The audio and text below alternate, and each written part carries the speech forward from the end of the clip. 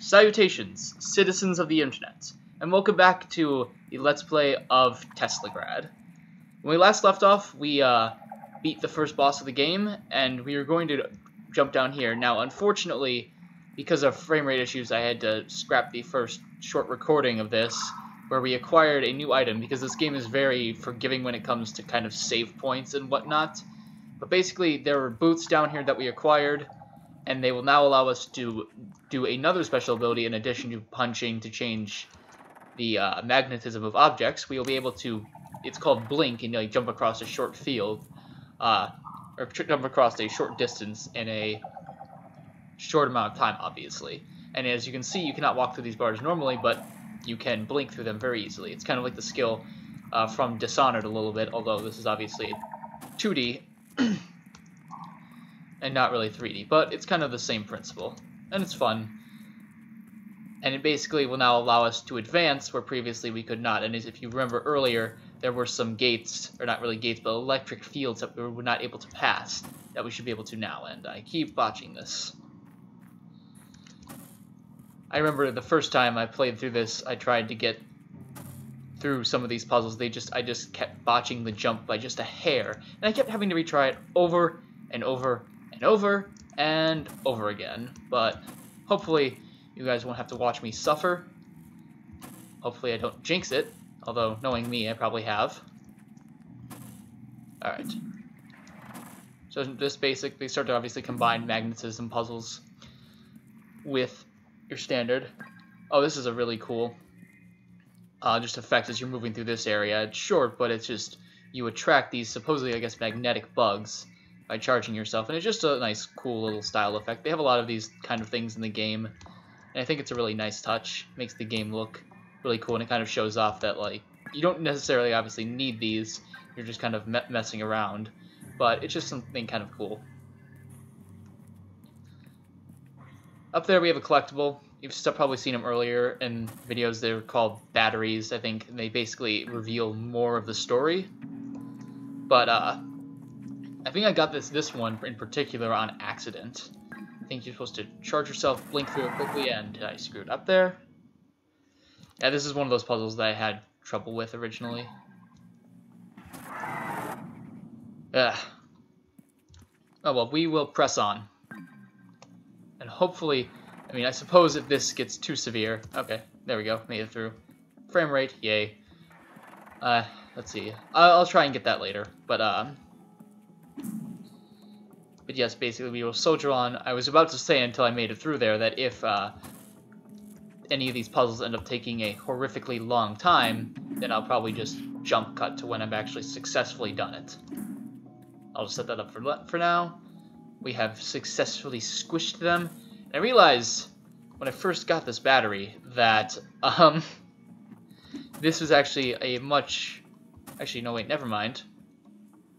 Hmm. I cannot remember now how exactly because I got I got that uh, the battery back before when I didn't when I when it was up, but now it keeps attracting me to the ground, so I'm unable to. Ah, I think I see maybe what I could do. Let's get back up here. So I've never actually punched this thing twice before. Huh. That does not attract this thing back up to here. Let's see. Don't know if this is going to do anything, but no, it just pulls that up with me. Interesting. Okay, well, I think you're supposed to do that beforehand.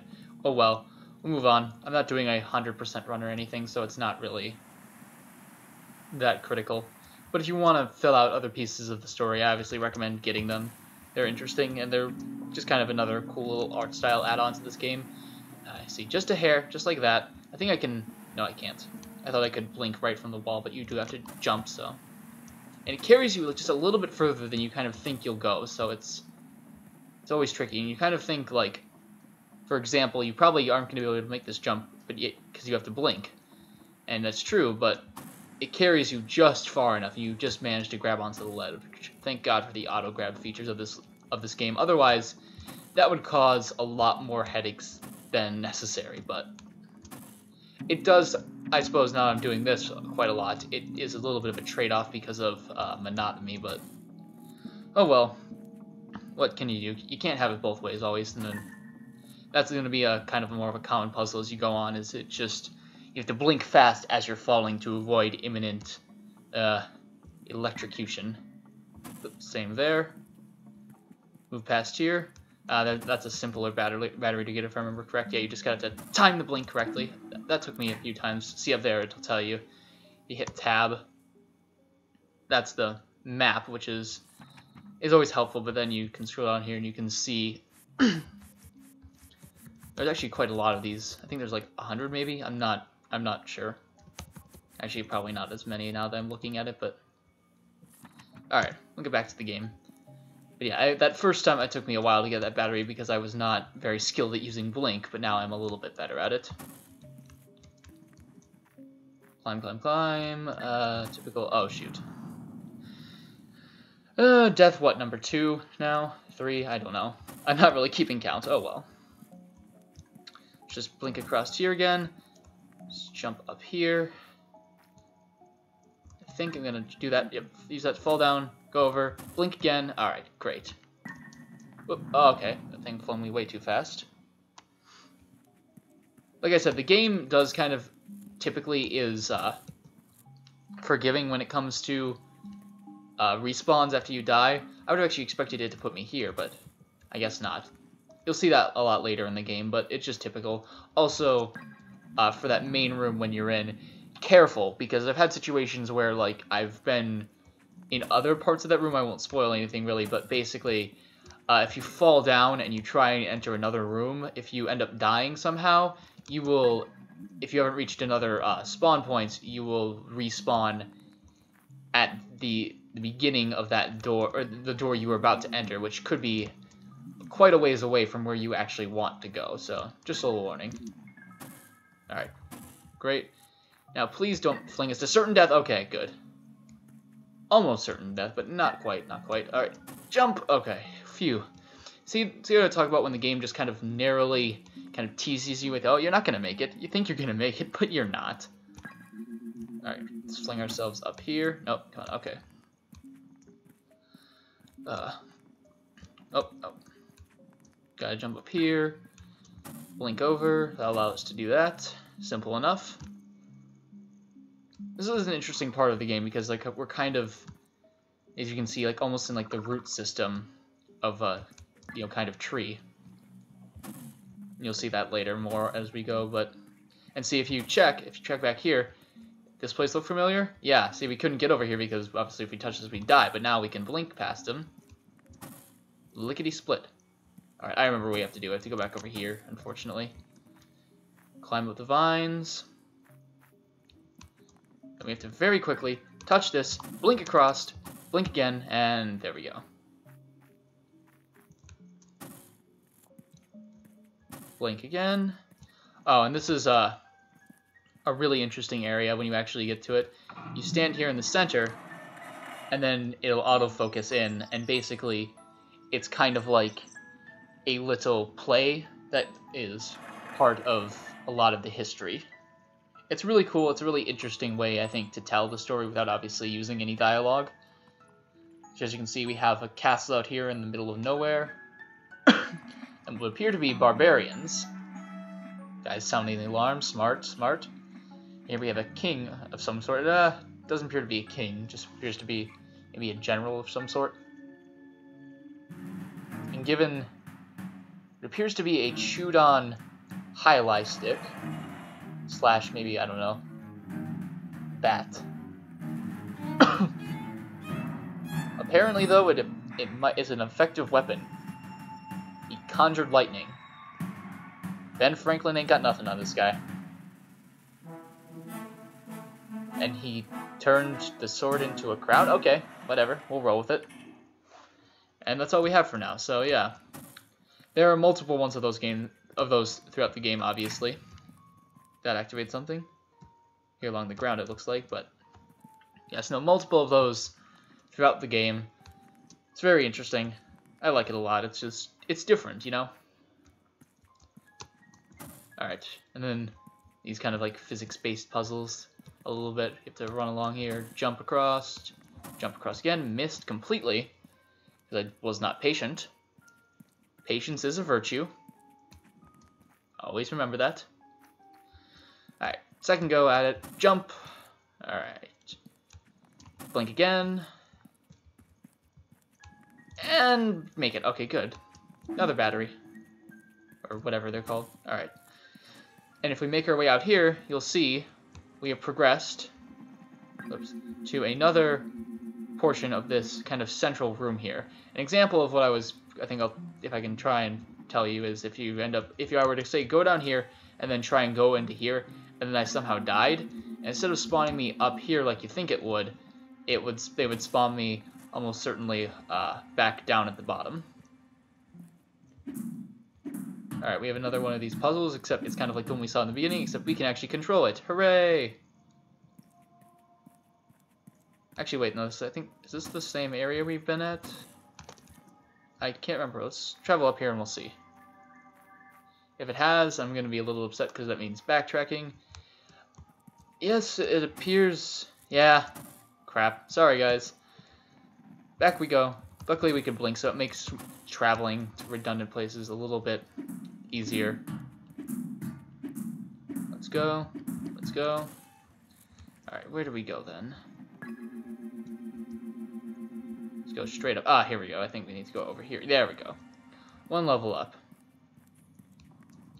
This is one of the more uh, free-form kind of puzzles in the game, and you get to decide kind of how exactly to solve it. It's simple enough. If I can actually... Alright, move... Alright, now, tracked. Sorry, I'm just trying to focus on this so I don't want to accidentally mess up and then you have to walk to the end of the screen. It's not the end of the world, but still. Alright. We'll get that. And then, yeah. Just gotta... It's, it's kind of annoying when you actually end up... I probably should have made that blue, but oh well. Live and learn. Come on, there we go. Okay, hit that. There we go. That should solve our problems. Yep, there we go. Alright, now we'll just ride this one up. I can actually stand on it. Woo, oh, come on. Really? You got attracted to that thing all the way over there? Okay. No, you stay.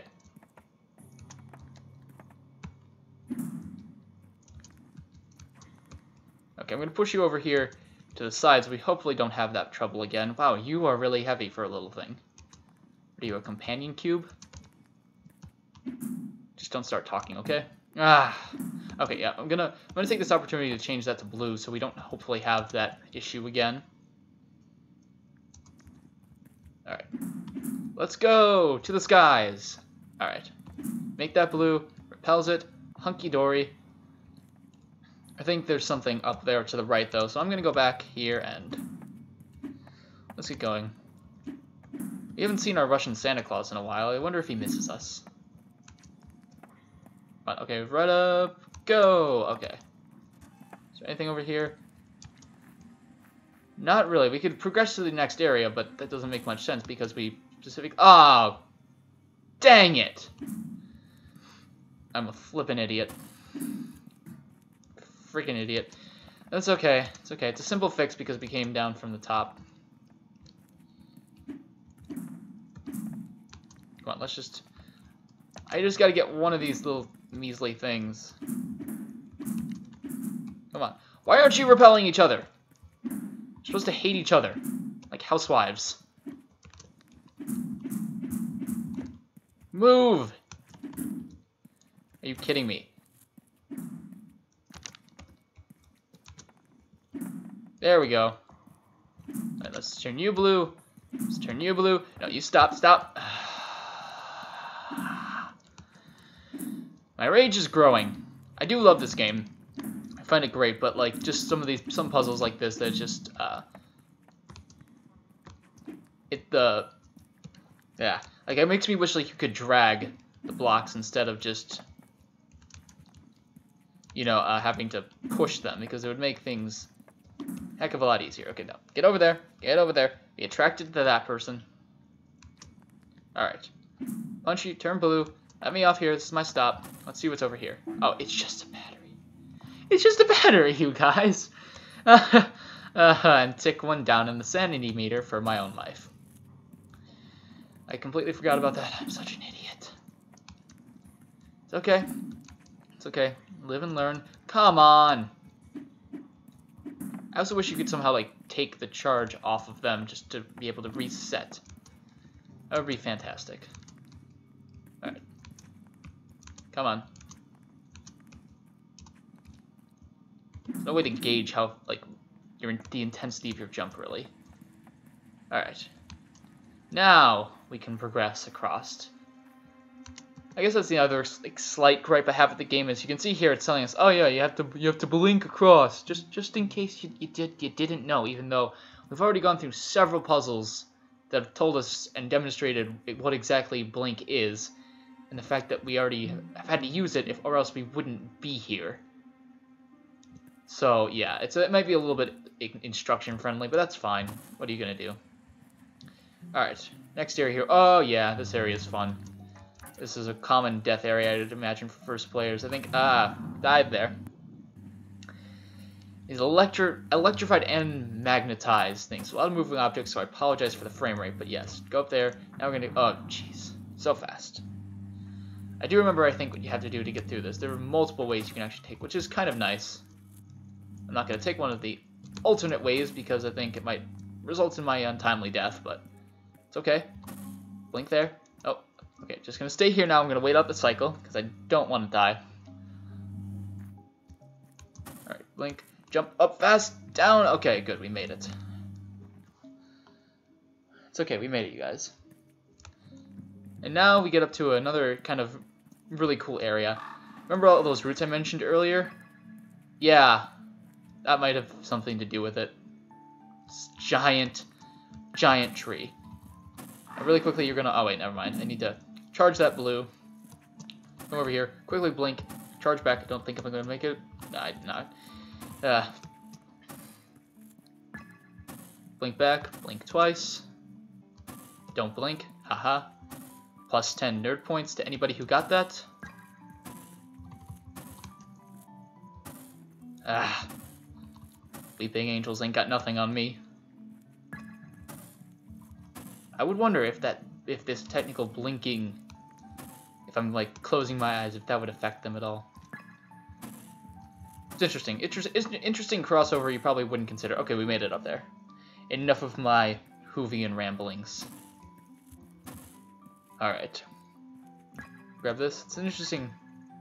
I don't really know what that has to do with any, if that has to do with anything over there, but it's some sort of like appears to be grave. You can see it looks to be the king down there crying, so it might be I don't know a tomb to their daughter or something? I don't know. She also has an electricity symbol on her chest, so who knows. I bet with her, sparks really flew. Ah, ah. I'm so sorry. Promise to never do that again. Okay. I'm just gonna blink over to the branch here. I'm sorry I subject you guys to my terrible puns from time to time. Alright.